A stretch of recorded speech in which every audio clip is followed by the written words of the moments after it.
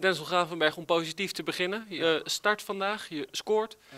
Nou, gefeliciteerd daarmee. Je bent jarig. Gefeliciteerd daarmee. Eh, was het een verrassing dat je zou starten? Eh, best wel. Eh, de trainer zei gisteren, ik moet er rekening mee houden dat ik start. Dus eh, ja. Maar over het algemeen was het wel een verrassing, dat wel. Ja. Want je had deze week niet per se met de basis getraind. Maar we hebben deze week eigenlijk moeilijk kunnen trainen. Ja, veel kunnen trainen. Echt specifiek op bepaalde dingen door het harde veld. Dus eh, we hebben niet echt tactisch, echt openlijk getraind, nee. Eh, Maar je hoorde dus gisteren dat je waarschijnlijk zou gaan starten. Ja. Eh, vandaag hoorde je dat je definitief zou gaan starten. Ja. Met wat voor gevoel ga je dan ja, die wedstrijdvoorbereiding in?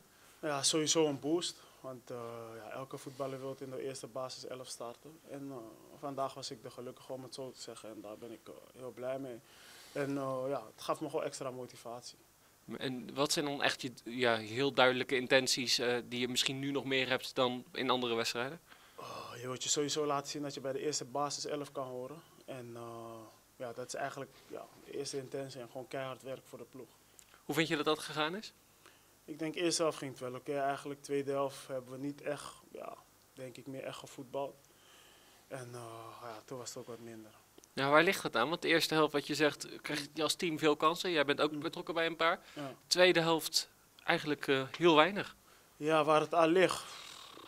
Ik weet niet, ik zou eigenlijk de wedstrijd terug moeten zien. Dan kan ik er misschien, krijgen, eh, ja, kan ik er misschien echt antwoord op geven. Maar ik denk dat de tweede helft wat grip miste. En eh, ik denk dat het daardoor komt. Maar ik moet het terugzien om dat te beantwoorden, eerlijk gezegd.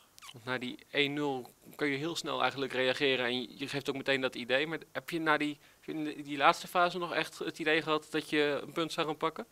Eerlijk gezegd wel. Ik, eh, ik geef nooit op. Dus ik blijf altijd hopen. En ik had wel het gevoel dat hij zou kunnen vallen. Maar goed, vandaag lag het geluk aan eh, Fortuna's kant. En ook dat is voetbal. Je, je- een maand geleden stond je tegen je van Fortuna, waardoor je plek in je linkerrijtje verstevigde. Het ziet er nu wat minder uit. Ja. Merk je dat verder in de groep? Nee, nog niet. We hebben allemaal vertrouwen in elkaar en we weten dat we dit ook gaan en kunnen rechten. Dus eh, dat gaan we ook doen. We moeten van de week gewoon goed met elkaar praten. De koppen bij elkaar steken en duidelijke dingen zeggen. En dan moet het wel goed komen.